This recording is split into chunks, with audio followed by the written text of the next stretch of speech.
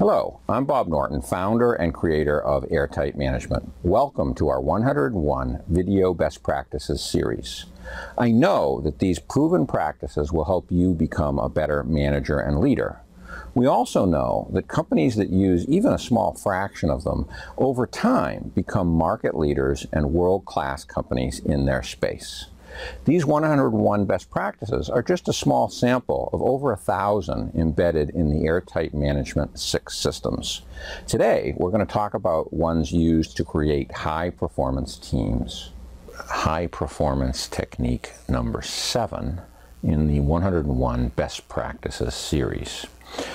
The high performance technique is called clearly defining roles and responsibilities.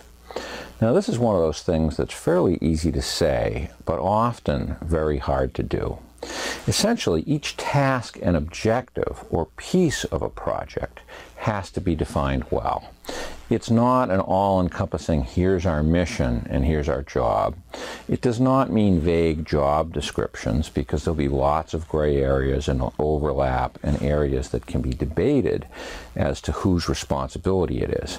No, this means no ambiguity at all and breaking up a project into pieces and phases so that there is a who, what, where, when, and sometimes even a why and how that's discussed among the team for communications and synergy. Each team member must understand what they must do and also what they must not do each team member must also be able to look at the bigger picture or the plan and how those pieces in the shorter term fit into that bigger plan. So we'll talk about that later, but you remember one high practice, uh, high performance practice is having a clear mission and vision. Well, that means the end objective. It doesn't mean all the pieces and phases and parts that may have to be drilled down to. So with this best practice, clear roles being defined and responsibilities and accountability, I'm talking about drilling down to a greater level of detail. Uh, it might be uh, a day's worth of work, a week's worth of work, a month's worth of work, but it's got to be defined and it's got to have clear lines.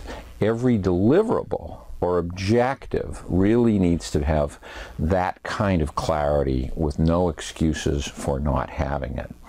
Now, the team leader is responsible for making sure that everyone understands what their deliverables are and when they're going to happen.